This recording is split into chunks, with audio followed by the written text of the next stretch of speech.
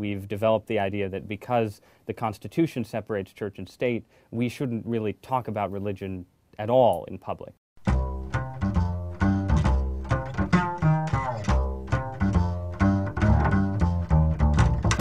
This is Faith Complex, a dialogue about the entanglement of religion, politics, and art.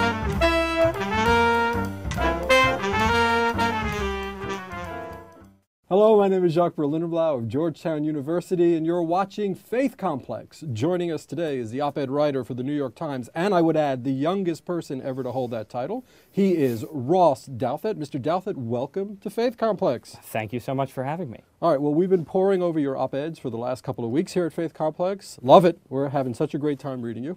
I appreciate it. I, I, I'm, I'm glad to hear it. And it seems that we notice a tendency in your writing, a kind of call for a more robust public discussion of religion. Can you tell us a little bit about that?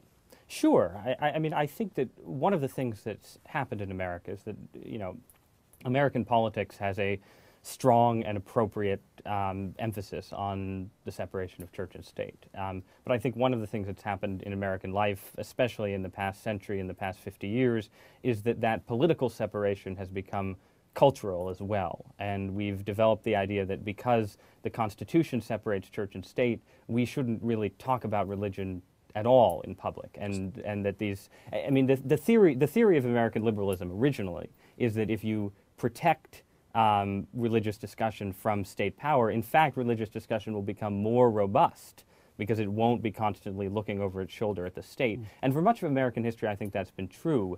But I think it's somewhat less true today. I think people are, you know, you, you don't have that many op ed writers who want to talk about religious doctrines and so on. But hasn't the conversation traditionally in the United States about religion been pretty damn robust. I mean, yes, no, no. His, to, historically, to yeah. Regret? But, well, but if you look, if you look at like, I mean, and some of this is, I think, a function of the kind of culture war mentality in the United States between, like, you know, the the sort of to stereotype a bit, the secular left and the religious right, where there is, in a sense, a robust conversation about religion, but the conversation is always about you know, it's about abortion, mm-hmm. it's about gay marriage, and then maybe it's about a few hot button issues like, you know, abstinence education and so on, or creationism in public schools. And all of these are important issues and issues that I'm interested in talking about, but they aren't always the, you know, the heart of the religious matter, you might say, right? So like Brit, Brit Hume, right? Mm-hmm. So there was a big incident, big to do recently where Brit Hume, talking about Tiger Woods, says, you know, well, you know, maybe maybe the thing for Tiger Woods to do is to turn to Christianity because there's a greater emphasis on forgiveness in Christianity than in Buddhism and so on. Mm-hmm. Everybody freaks out about this and says it's totally inappropriate for Brit Hume to be talking about these theological issues on cable news. Um, and, you know, I, I don't think it's inappropriate at all. I think there's actually a really interesting conversation to be had about the differences between Christianity and Buddhism. And it doesn't mean that Brit Hume is right about those differences, but it's a conversation worth having, and it's a conversation that's just as worth having as the conversation about um, gay marriage or abortion. I well, I don't think it's inappropriate when Brit Hume speaks about these religious issues. The, the problem is that Brit Hume is not a credentialed theologian, so I don't think he brings anything to the table of any particular interest other than a rant, and this is the constant. I think. Well, I mean, I'm, look, I'm not a credentialed theologian either, right? So by that standard, I, I mean, fair enough, mm. right? If if you think that the conversation about religion in the U.S. should be held exclusively by credentialed theologians, then we are we are going to disagree. Um, but you know, Brit Hume is first he'd stepped out of his role at that point as a professional newscaster and become a professional commentator who now delivers his opinions directly on Fox News and you know, I mean, do I trust Brit Hume on the theological difference between Christianity and Buddhism? Maybe not, but I don't trust most commentators in public, and I still think it's okay to have a robust public conversation on hmm. these issues. But haven't we seen again and again that religious dialogue in public gets a tad bit too robust? Uh, Danish Islamic cartoon controversy robust. Pope Benedict tripping over the tripwire of Muslim sensibilities robust. We really want to go back there? Well, I mean, I think the reason that the Danish cartoon conversation became robust is because, frankly, Muslim residents of Europe didn't respect the you know, didn't respect the liberal settlement, where you're supposed to be allowed to have these kinds of conversations. But And- we've had this in the United States as well between Catholics and Protestants in the mid 19th century, Sure. having urban riots where people die over which translation of the Bible is going to be used in public school. What I'm saying is the secularist is beholden to a vision, and the secularist need not be a non believer. The secularist sees religion as a kind of nitroglycerin, something which is volatile. Better to keep it down so that people can be religious in peace. Right, I, I, I understand that. But again, if you look at the particular examples that you cited of you know, Muslim cartoon controversy, what you end up saying there then is for the sake of religious peace, we need to protect, you know, we need to treat religion as this kind of, you know, this thing we treat with kid gloves all the time. And we're always walking on eggshells and saying, well, you know, in Europe we can't offend our Muslim minorities. And in the U.S., we, you know, if we're in the South, we don't want to offend the Southern Baptists. We don't want to, you know, we don't want to do this, that, and the other thing. And I think, you know, if, if you take that, if you take that more than one or two steps too far, you end up in a place that secularists won't like very much mm. either, where you'll end up with a situation where secularists aren't allowed to say things about religion in general. I mean, if you look at like the wave of new atheist books that's come out, obviously I don't agree with 95% of what's said in most of those books, but I think in a way that, you know, a Christopher Hitchens or a Daniel Dennett or any of these people do religion a favor by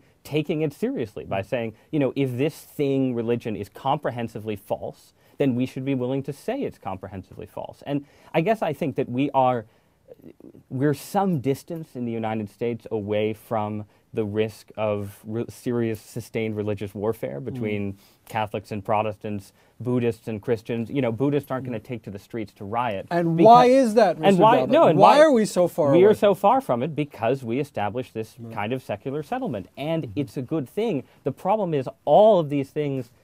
As with everything, there's a mean, there's a hap- there's a happy medium to be struck, and it's possible to take that medium so far that you stop having interesting conversations about religion in general, and that's Hmm. a huge arena of human life that you're then sealing off from public conversation. It actually matters the differences between Buddhist theology and Christian theology. These things matter. They have huge consequences.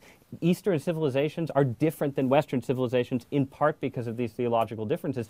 If we can't talk about them, we're foreclosing a huge arena of important debate. I don't fully disagree with you. As I hear your argument, what you're saying in culture, we should have these discussions. But let's talk about politicians having these discussions, which might not be your claim. You're not claiming that it's a good thing for politicians to spout doctrine on the campaign trail, are you? No, I, I think that politicians have an obligation to stick to the the places where their religious beliefs do actually intersect with public policy issues. So I think it's fine for a politician to say, as a Christian in the public square, I feel compelled to oppose, um, you know, pro-abortion legislation, for instance. I think it would be less appropriate for a politician to say, as a Christian in the public square, I would like to argue for laws that compel people to assent to the doctrine of the Immaculate, um, uh, the Immaculate Conception, right? And, and I think that that is the distinction that American politics has successfully struck in the past, where if you look at our great political movements that were infused with religious energy,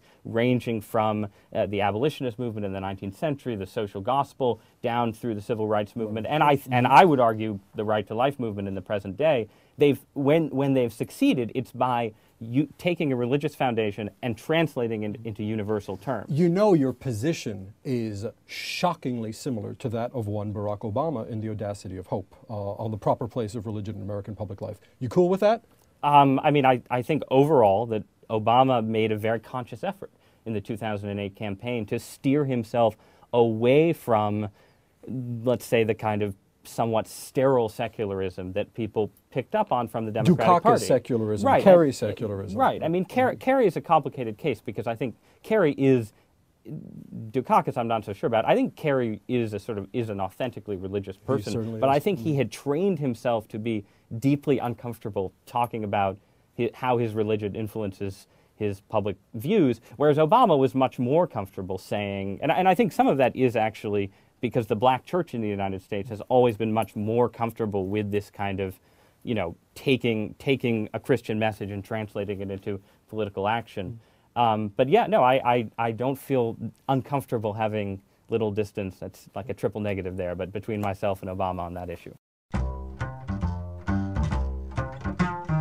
You can see this with, with Hollywood and the Iraq War, right? With movie after movie, and uh, the war on terror more generally, you can see the sense from Hollywood directors that this will be the movie that grabs America by the lapels and Yeah. convinces them that this Gets you off your keister into off- the streets, right. manning the barricades. Right. Yeah. And I mean, nobody goes to these movies.